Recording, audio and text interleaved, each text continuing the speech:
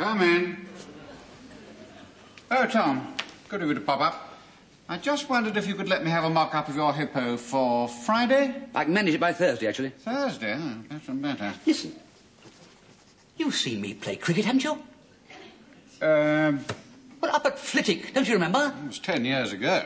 Yeah, but I played, though, and if I'm not very much mistaken, I made a few that day. One. Yes, yes. I got amongst the wickets there, didn't I? No, you didn't bowl. You strained your back getting your run. I played, though, didn't I?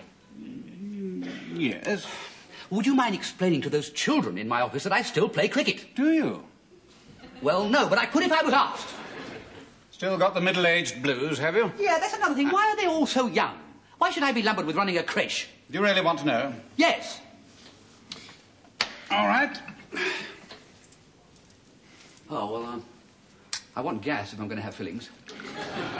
We joined this company, what, eight years ago, wasn't it? And you know something? I was frightened of you then. No, don't mess about.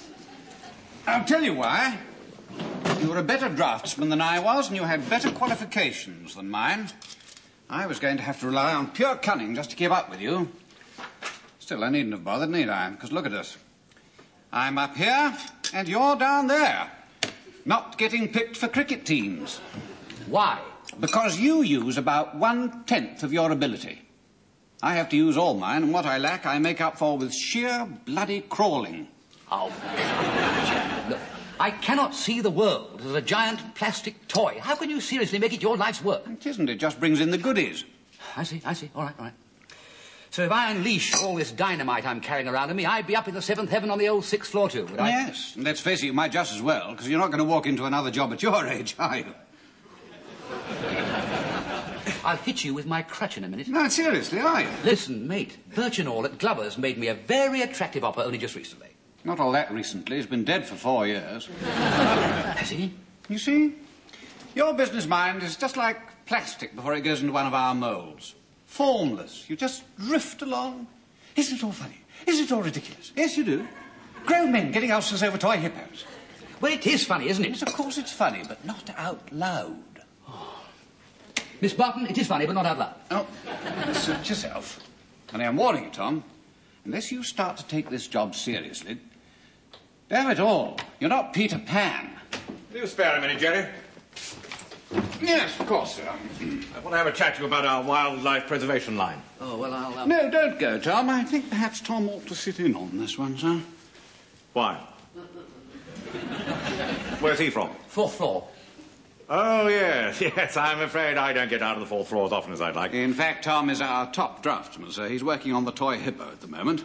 Oh, really? No, no. How's it um, uh, Going? coming? Well, as you know, the problem with these advanced designs is surface area to weight ratio. Yes, quite. In the case of the hippopotamus, I've stylized the head somewhat to obviate overhang. Have you? So that at the mock-up stage... Which I've laid on for Thursday, incidentally, sir. Ah. Yes, Thursday. I'm working on the principle of a 3 by 1.5 base, with a maximum height at the rump of 1 centimetre. Uh, This gives us a box mass of 5 grams, which is naturally in line with the cereal manufacturer's packet specifications. You know, there's a much better view from the fifth floor. Tom, I'd like you to sit in on this one. Now, look here. A bubble has just come off the top of the think tank, and I don't mind telling you that this is an absolute blockbuster of an idea. It's going to put our wildlife preservation series in the vanguard of world, and I do mean world, mouldings. Can you guess what it is? Huh? No, you can't, can you? Uh, our next mould is going to be a giraffe. and Tom, I'm thinking of putting this giraffe on your plate.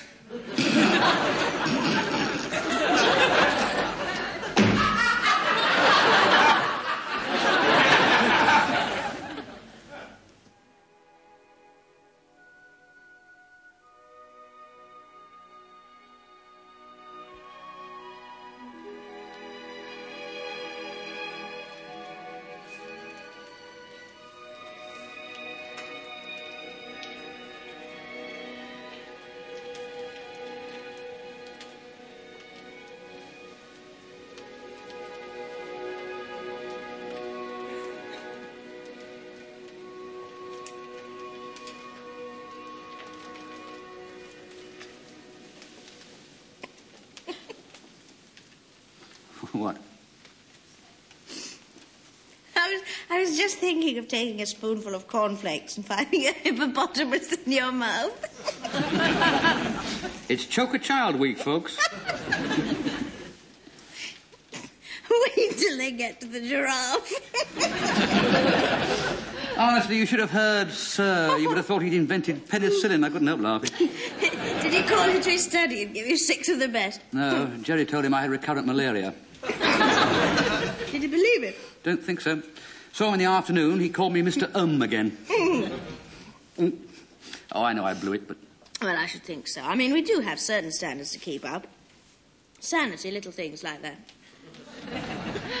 I'd run off with you if you weren't married. I even love your varicose vein. I'll grow it in the shape of your initial. Mind you, it's our future I'm blowing, you know. In four years' time, Brian and all the whiz kids will be up on the fifth floor. Where will I be? Doing a Mr. Chips with a lot of infants.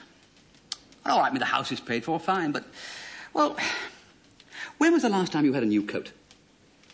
Last week. anyway, that's that's things.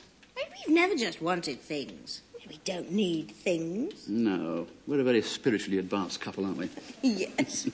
Anyway, you don't make enough for a lot of things. No. I'll tell you what's the bottom of all this, all this it business you were on about this morning. I had a think in the garden after you left. You know, why do you always go into the garden to think? Not having an affair with that gnome we haven't got, are you?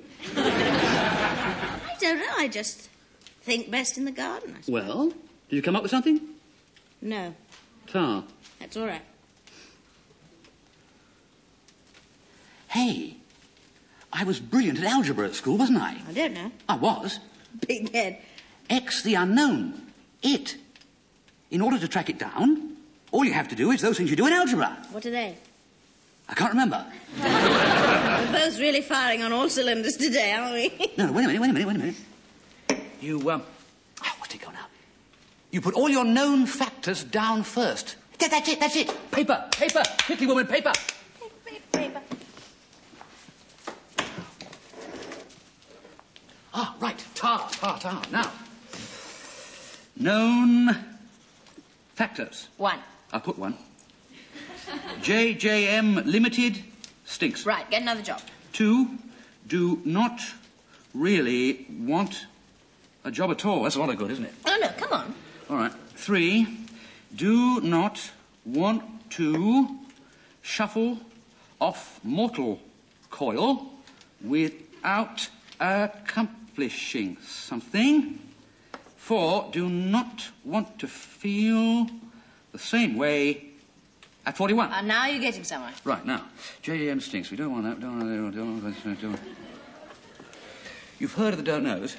I come across as one of the don't want tos. Well, then, let's get positive. All right, new page. File that. Right. Right, one. I want. I want. It.